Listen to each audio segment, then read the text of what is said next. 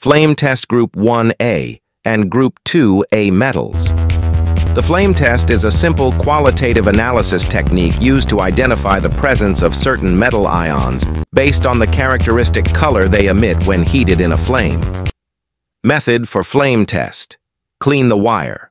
Use a platinum or nichrome wire, dip it in HCl and heat in a flame until no color is observed. Prepare the sample. Dip the clean wire into the metal salt solution or powdered sample. Place in flame. Hold the wire in the blue part of a Bunsen burner flame. Observe the color.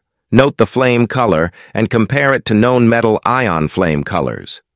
Flame colors of common metals, sodium, Na+, bright yellow.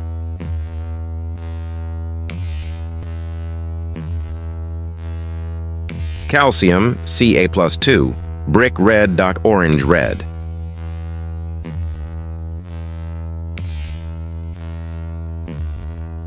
Potassium, K+, plus.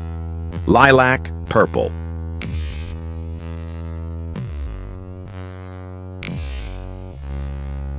Copper, Cu plus 2, blue-green, turquoise.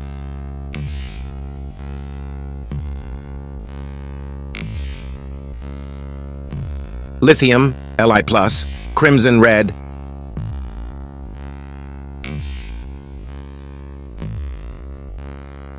Strontium, Sr plus 2, bright red.